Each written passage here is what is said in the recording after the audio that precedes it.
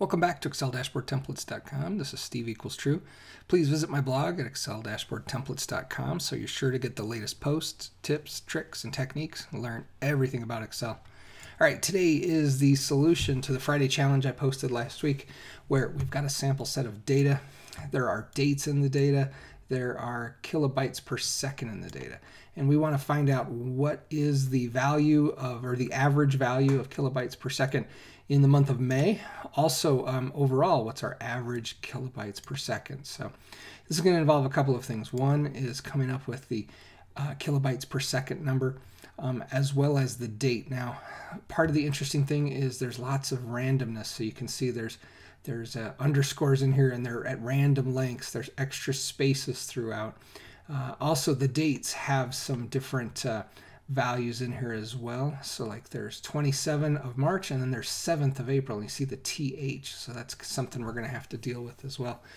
So let's go ahead and talk about our solution. First, we're going to try the uh, kilobytes. I think I've got this wrong here, don't I? Kilobytes per second solution.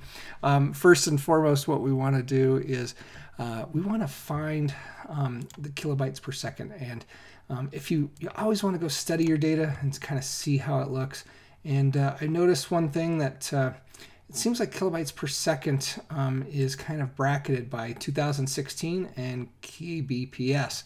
So what we want to do is we want to go in and find the length of where does this end and then also um, where does this start we can subtract the two of those values to get this text string here in the center. Uh, then we can just do some find and replace, or I mean some substitute formulas to get rid of the underscores. So let's go ahead and give that a shot right now. So kilobytes per second. We're going to start with uh, trying to find um, where the uh, 2016 text value is. So this is going to be equal to find. I'm going to hit tab. We're going to find text. We're going to find text 2016. We know that's a unique string within all of the values. And we're going to do that within the text in cell A2. And let's see what we get there. So it's the 19th uh, part. Now, um, this is great. So uh, it's saying that 2016 starts at this position number 19 within the text string. Now, what we want to do is we want to modify this formula um, to add four more because we've got 2016 as four characters. So uh, starting at position 23 is where the first underscore or space is going to be. Um, so that's going to be something important for us as well.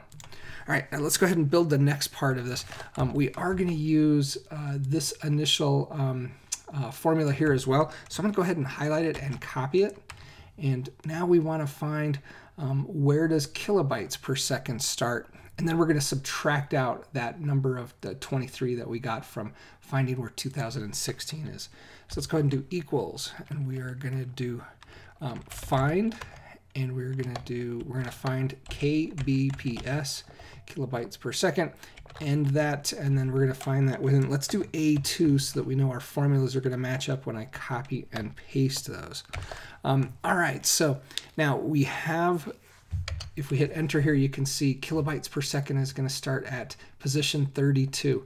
Now let's go ahead and edit that again. And what we want to then do is subtract out uh, where we found that uh, value of uh, 2016. Oops, forgot my minus sign. Um, so 32 minus 23 is going to say it's 11 wide. However, um, this is also, uh, we want to uh, not get the overall um, range. We want to backtrack it a little bit. We want to go backwards um, and we want to remove 4 instead of adding 4. And let's see what we get there. So it's saying um, here in A2 between 2016 and the KBPS, it is 9 wide. So let's go ahead. I've clicked in the cell. 1, 2, 3, 4, 5, 6, 7, 8, 9. So it looks like we do have the correct value where we're able to get the text that is in between 2016 and kilobytes per second. It is this formula right here. So I'm going to go ahead and copy this. And now what we want to do um, is we want to do a mid formula. So see, we're finding the mid of this text string. Um, so let's go back up to our original uh, formula and let's modify this a little bit. So we are saying that this is going to be the mid of text of A2. Now it's the starting number. Remember that's starting what we've got here, which is at uh, position 23. And now we need the number of characters, which is that 9, and that's the formula I just copied from below. And so if I end that parentheses and hit enter, look at that. It's got uh, mid is of A2 starting at um, the end of 2016. Uh, and whenever it finds that in the cell, and then we're backing up from kilobytes per second to make sure we're right there at the end of the value of our text string. So we now have our kilobyte solution. We just need to get rid of a few things. Uh, there's underscores and there are uh, spaces. Um, the spaces I think we, we probably can ignore by just using a value, um, but let's uh, let's see if it works on all the range. Um, what we do need to do though is we do need to substitute these underscores uh, with a null value. So let's do equals and it's substitute. I'm going to hit tab and fill that in. It's saying the text and the text is going to be what we have here, that text string we're returning from the previous formula. The old text is going to be quotes, the underscore, as you can see there. And then uh, the new text is going to be two quotes. So that's the null set. That we're not going to replace it with anything. And we have 4.9 70. There are some spaces here at the end of it. And since this is a text string, I really want to convert this to a value. And so if I just simply wrap this with value and end my parentheses at the very end, 4.97. So that is an actual number. And as you can see, I can affect it like a number by hitting um, some of the uh, increasing or decreasing decimals.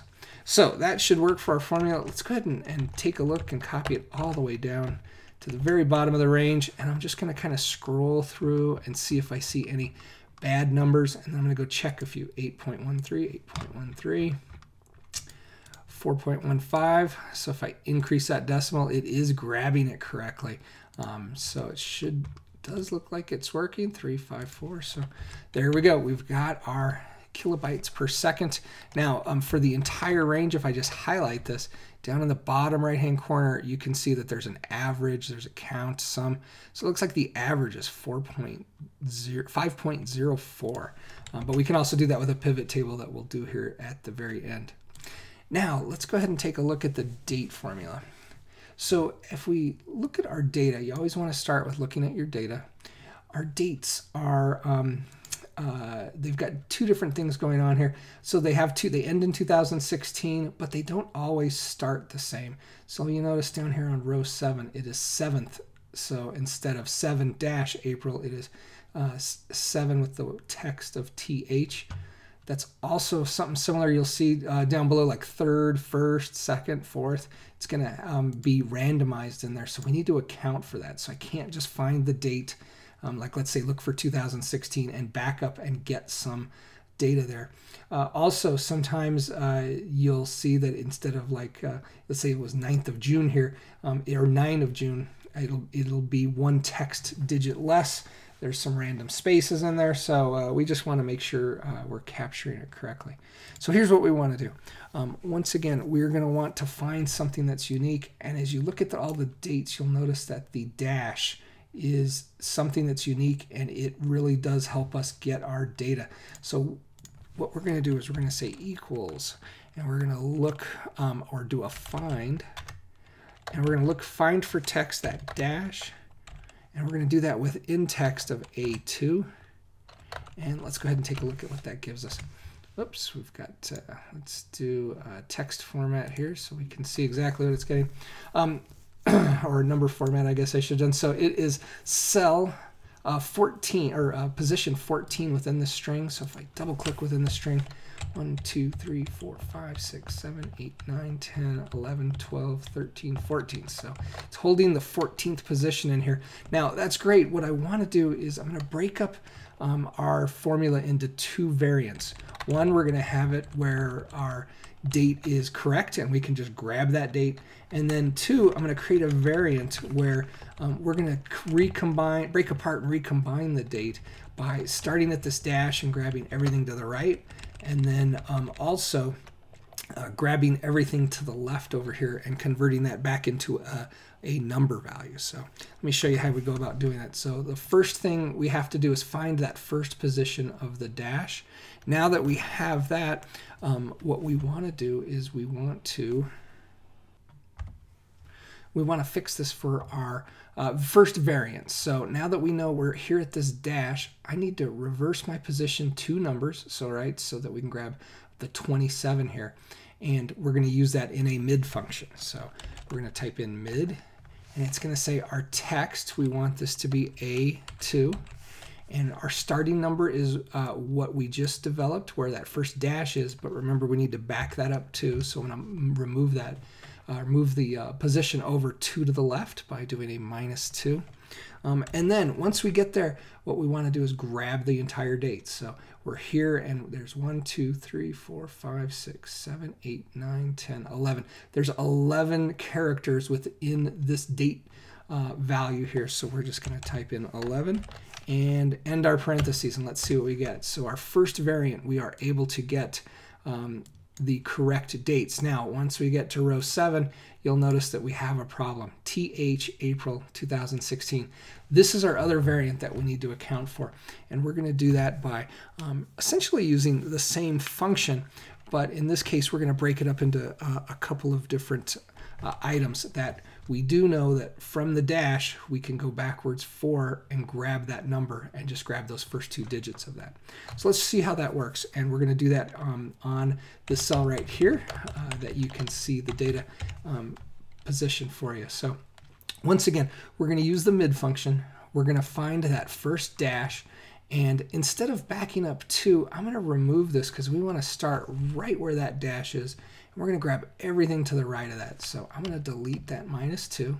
And now that we don't have to go back to, um, to end here at 2016 instead of 11, we only need 9 um, more characters. So let's hit type in that, and you can see we now have the start of our formula. That grabs the right-hand side of our text string. Now we want to grab the left side of our text string. So let's go ahead and do that um, in one cell below. Let's just go ahead and copy this formula out here and uh, we'll start that in the cell below. So equals and typing in that formula by doing a control V for paste. So first off, uh, within cell A7, we're going to find that dash and we do actually at this point in time, we want to go backwards four cells, so our four uh, positions. So we're here at this dash, we want to go one, two, three, Four, we want to go four because we want to incorporate in case there's a zero seven or a zero one. In our case right here, it just says seventh. Um, so uh, having that space in there is not a problem, but we want to go our move our cursor position back four. So that's why we're doing that minus four. And we only want to grab two digits. So, or the left two most um, values. So in any case, you will see it's grabbing the, just the number seven. Now, we just want to go and recombine these two formulas. So I'm going to copy this formula here. I'm going to go back up to my previous cell. And what I want to do here is add it at the very beginning. I'm going to do Control V to paste it. Just simply going to put an ampersand in between those two uh, formulas and hit enter and you can now see it as 7 of April of 2016.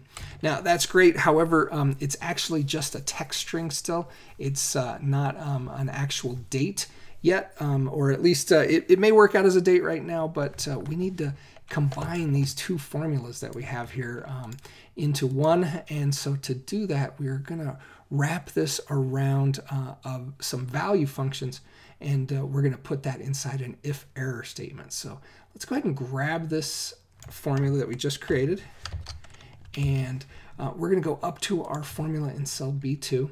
And so we are saying that uh, we've got our original value if there is just 11 digits that we can create the date from. And uh, first what we want to do is we want to do an if error. And so I like to use if error to say uh, if this here is an error, um, go ahead and do another operation if you find that it returns like pound value pound NA, those sorts of things. Um, however, this is just text right now, so there's it's not really checking to see, or will never return an error typically. Um, however, we do want to make this a real date value, so I'm just going to type in our value function and hit tab. It's going to do a value on this text string and I'll end my parentheses. So this is what we're checking for. So the if error says, hey, if this formula right here returns an error, then comma, I want to show a different formula if it is an error, and that's where I'm going to do another value formula, and I'm going to uh, put in that function that we copied from below. Now it looks like I have, um, um, since we're in A2, um, you can see my references are for A7 down here.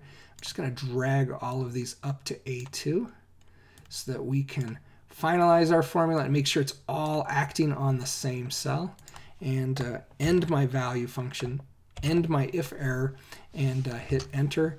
And you can see it's got a funky number in there because that is actually a date. Uh, Excel uses numbers as dates, and there you go. We have March 27th of 2016. If I highlight in the, the uh, fill bar and move this down, you'll see down here on April 7th, it is calculating that, calculating that as a date as well. So let's uh, expand this all the way down to the bottom and kind of look through some of our data. Um, let's see, October 16th, October 16th, we've got uh, that one working correctly. Uh, here's the 26th of August, and that's working correctly. So everything's looking pretty good. Now we just need to find our solutions. Uh, and so I'm going to highlight the range of data. I'm going to do Alt-D pivot table and put it on a new spreadsheet. Um, and uh, we'll go ahead and do, or actually we'll just put it in this spreadsheet right here, this existing spreadsheet just below uh, where we can see it. And I'm going to modify the pivot table for the solution uh, KBPS as values and date in our row labels. I'm going to change the sum to value field setting. Instead, we want that to be an average. And we're going to click on closing that out. I just want to right click here on my dates and group them. And we're going to group them by months click on OK. And so you can see uh, May's uh, value was 5.181, and the grand total, our um, average kilobytes usage, is 5.0423. So hopefully you found uh, this interesting on how you can break up data with different text functions, uh, if functions, value functions, um, as well as uh, substitute, where you can uh, take some data out uh, of your text strings and replace them to get the data that you're ultimately looking for. Um, once again, this is Steve equals true. Please head on over to Excel Dashboard Templates to download this solution file. Also, please subscribe to my video channel so that you're sure to get the next post delivered directly to your inbox. Thank you.